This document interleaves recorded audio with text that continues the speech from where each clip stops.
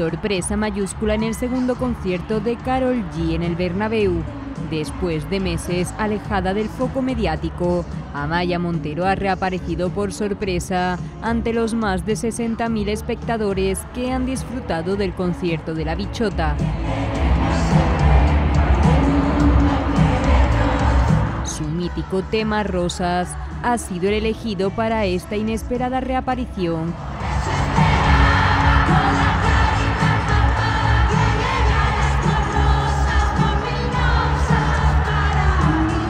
logrando que todo el estadio cantase a capela este himno musical.